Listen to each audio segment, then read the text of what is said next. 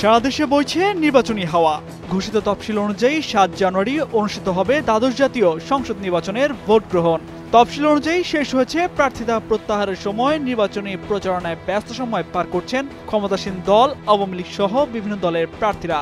তবে এরই মধ্যে বিভিন্ন স্থানে নির্বাচনী প্রচারণার সময় নৌকা ও স্বতন্ত্র প্রার্থীদের সমর্থকদের মাঝে দেখা দিয়েছে সংঘাত, সংঘর্ষ। এই অবস্থায় ভোট কারচুপি ও সুষ্ঠু নির্বাচন নিয়ে প্রশ্নও তুলছেন তৃণমূল বিএনপি সহ বিভিন্ন দলের প্রার্থীরা।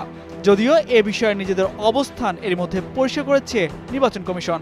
ভোট কারচুপির চেষ্টা করা হলে ভোট গ্রহণ বন্ধ করে দেওয়ার কথা সাফ জানিয়ে দিয়েছেন প্রধান নির্বাচন কমিশনার কাজী হাবিবুল আওয়াল শনিবার সকালে বরিশাল জেলা প্রশাসকের কার্যালয়ে জেলার প্রতিদ্বন্দ্বী প্রার্থীদের সঙ্গে মতবিনিময় সভায় একথা বলেন তিনি। জানান, নির্বাচনে পক্ষপাতিত্বের কোনো সুযোগ নেই। অনেকে বলেন প্রশাসন সরকারি দলের পক্ষপাতিত্ব করেন। এটা আসলে সঠিক নয়। সবাই সচেতন থাকলে এবং চোখ কান খোলা রাখলে এটা বোঝা যাবে। আচরণবিধি কঠোরভাবে নিয়ন্ত্রণের নির্দেশ দেওয়া হয়েছে। একটা ভোটও কারচুপির চেষ্টা করা হলে ভোট বন্ধ করে দেওয়া হবে বলেও জানান তিনি।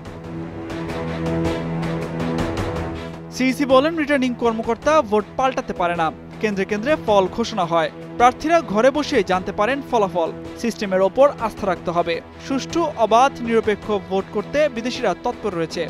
প্রার্থীদের সহায়তায় কমিশন জাতীয় নির্বাচন সফল করতে চায় বলেও জানান তিনি। ভোটের মাঠে অনিয়ম করতে হবে এ বিশ্বাস থেকে প্রার্থীদের বেরিয়ে আসার আহ্বান জানান সিইসি। বলেন, ভোটারদের ভোট দিতে হবে। অন্য কেউ দিয়ে দেবে, এটা হবে না। এদিকে নির্লিপ্ততা ও দায়িত্ব অবহেলার অভিযোগ প্রমাণিত হওয়ায় দুই ওসিকে প্রত্যাহার করেছে নির্বাচন কমিশন। শনিবার দুপুরে আগারগাঁওয়ের নির্বাচন ভবনে সাংবাদিকদের সাথে কথা বলেন ইসির অতিরিক্ত সচিব অশোক কুমার দেবনাথ।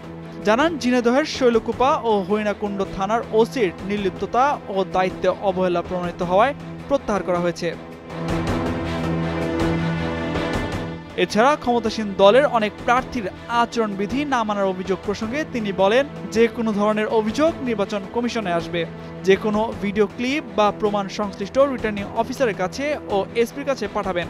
তাদের তদন্ত অনুযায়ী ব্যবস্থা গ্রহণ করা হবে বলেও আশ্বস্ত করেন ইসি সচিব। তামজিদ মির্জা, কালবেলা।